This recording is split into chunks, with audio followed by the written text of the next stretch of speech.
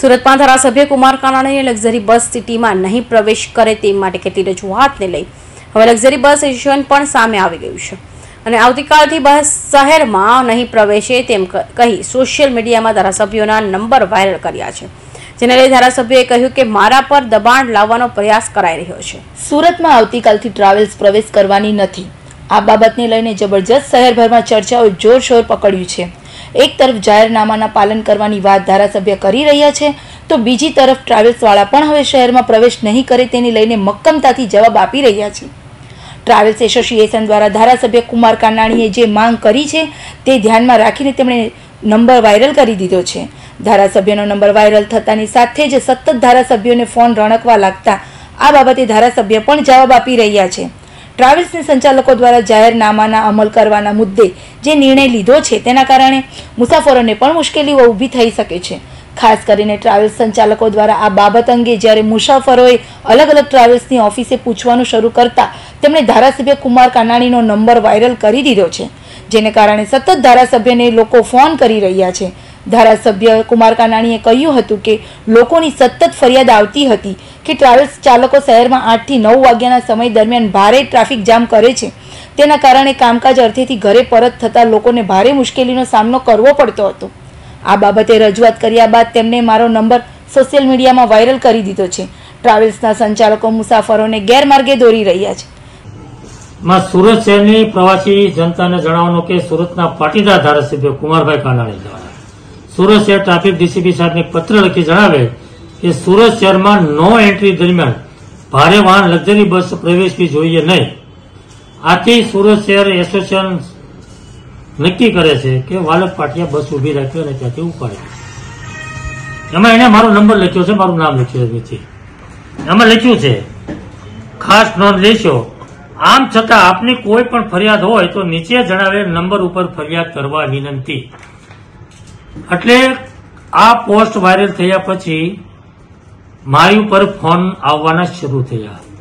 અસંખ્ય ફોન આવ્યા એક ફોન પર વાત કરતો તો પાંચ મિસ કોલ પડી જાય. અને કોઈ સારી વાત કરે, કોઈ વ્યવસ્થિત વાત કરે, કોઈ ગમે તેના સંસ્કારો પ્રમાણે ગાળો બોલે, એના મા બાપ આપેલા સંસ્કાર પ્રમાણે. એટલે મને એવું લાગ્યું કે લોકોને ગેરમાર્ગે દોરીને ખોટો લોકોમાં મેસેજ આપી રહ્યા છે અને મને બદનામ કરવાનો પ્રયાસ થયો છે. અને એટલા માટે મેં લોકોનામાં ખુલાસો કરવા માટે લાઈવ થવાની મારી જરૂરિયાત ઊભી થઈ. કોણ છે આની પાછળ કાકા? કાકા શા માટે તમને જ ટાર્ગેટ કરવામાં આવી રહ્યું છે અને કોણ છે? રાજકીય કારણ પણ હોઈ શકે કારણ કે એક આપના કોર્પોરેટર વરાછાના રાજકીય કારણ પણ હોઈ શકે કારણ કે એક આપના કોર્પોરેટર વરાછાના ધર્મેન્દ્રભાઈ વાવલિયાએ પણ એક પોસ્ટ કરી છે. અને એમાં એને લખેલું છે કે ભણેલો કોર્પોરેટર ટ્રાફિક થાય તે સમયે કાયદા મુજબ સવારે છ પછી અને રાત્રે દસ પહેલા પ્રાઇવેટ બસ પ્રવેશબંધીની અરજી કરે. આ ધર્મેન્દ્ર વાવેલિયા કોર્પોરેટરે કીધું છે કે સવારે છ થી રાતના દસ આનો અમલ થવો જોઈએ. પ્રાઇવેટ બસો અંદર ન આવી જોઈએ. એ પોતે લખે છે, જ્યારે ચાર ચોપડી ભણેલા ધારાસભ્યો શહેરમાં બિલકુલ બસની પ્રવેશબંધી કરાવી ચાલીસ લાખ લોકોને હેરાન કરે છે. મેં બિલકુલ બંધ કરવાની વાત જ નથી કરી. આ અભણ ધારાસભ્યનો લેટર જે ડીસીપીને લખ્યો છે, એ ભણેલા કોર્પોરેટરને વાંચતા જ નથી આવડ્યો મેં એ જ લખ્યું છે. મેં એ જ કીધું છે સવારે સાત પહેલા બસ આવી જવી જોઈએ અને સાત રાતે દસ વાગે આવી જોઈએ.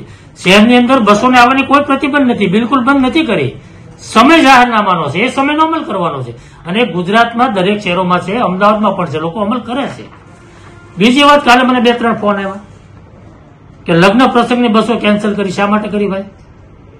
જાહેરનામામાં બહુ સ્પષ્ટ ઉલ્લેખ છે કે લગ્ન જેવા પ્રસંગો હોય, એની બસ હોય, તો બેનર મારે લગ્ન પ્રસંગની બસ અથવા તો એનો કંકોત્રી કે કાર્ડ જે કંઈ એનો પુરાવો હોય બતાવે.